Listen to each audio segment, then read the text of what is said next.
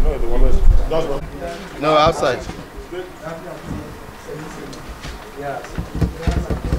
I'm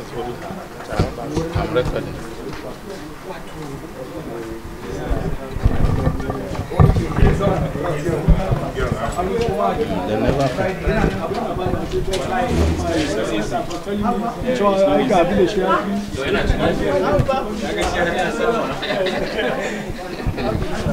Okay, sorry.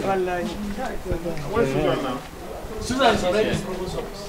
He's still in the office. He's still in provost office. Okay. Hello? Ah.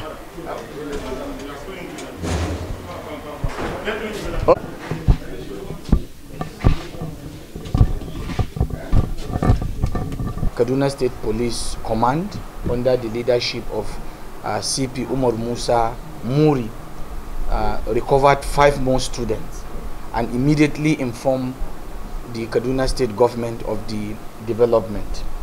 Uh, a medical team was raised to carry out extensive medical checkups and a preliminary psychological evaluation, and also uh, to come up with a detailed post-trauma exercise after reuniting them with their families. We are of the view that uh, this is not enough.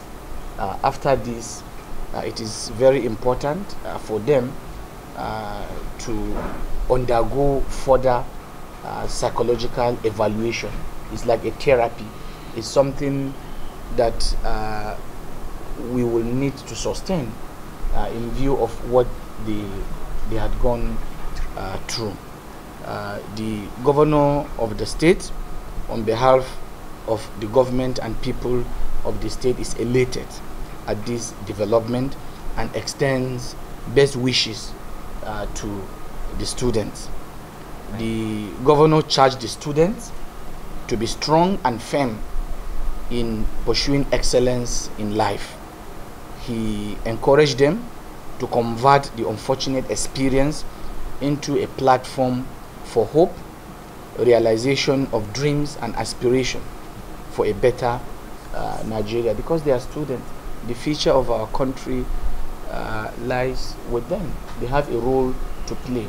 And in view of what happened uh, to them, Kaduna State government is optimistic that they should use this opportunity as a platform for hope and realization of their dreams. This is a, a turning point uh, as far as Kaduna State government is concerned. Uh, the government will not relent in its work and commitment towards recovering the remaining hostages uh, by the grace of God. Uh, furthermore, uh, the governor commends the commissioner of police and his team. Uh, it is on this note that we hand over the five students uh, to the school uh, management onward to their parents. We want to thank the Almighty God for answering our prayers.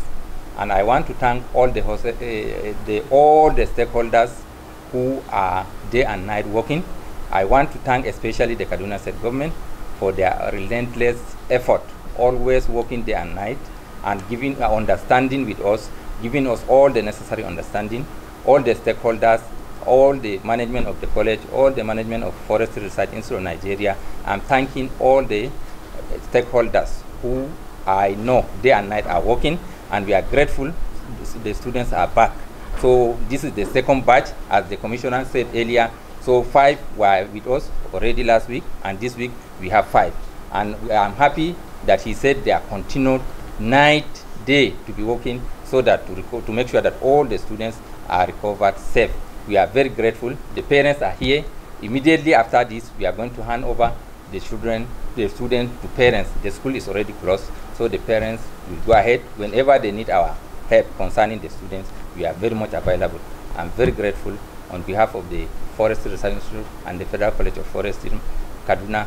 We are very grateful. We are thanking Kaduna State Government, and still we need their support. As he said, We want them to give us full support, full cooperation until all our students are back.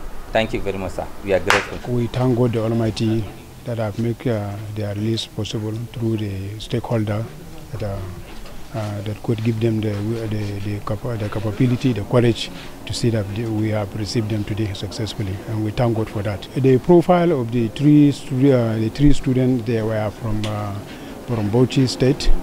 Their father, Alhaji Aminu, uh, is the, the, the village head of Tirun and uh, Rafi Sanyi Bauchi. So uh, they were here just to undergo a six-month certificate program, which uh, they were almost uh, about to round it up.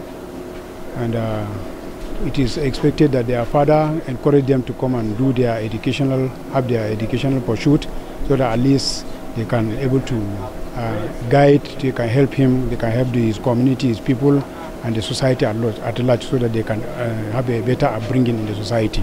Obviously, we want them to continue. If we didn't allow our children to do education, what is our own legacy? Our future legacy is the paramount thing that we want them to do, as far as uh, we parent as well, as far as we are concerned. What do you think the school should do? If you have to give an advice, Yes. what do you think that the school should do going forward?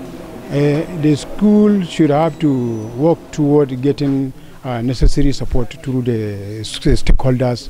Government should uh, assist the college in terms of uh, providing uh, much needed security so that at least it will make the environment, uh, the student will really have their studies be done successfully. we have done a lot of things and we have already write as uh, exam for first semester we have seen our result and for our second semester exam we have been reading for it to be able to write our exam. So we can i cannot be able to to leave the school like that. My prayer is is that since we were out we, we, have, we, we pray for them to be out there successful the way we we are, are out, out. we are out in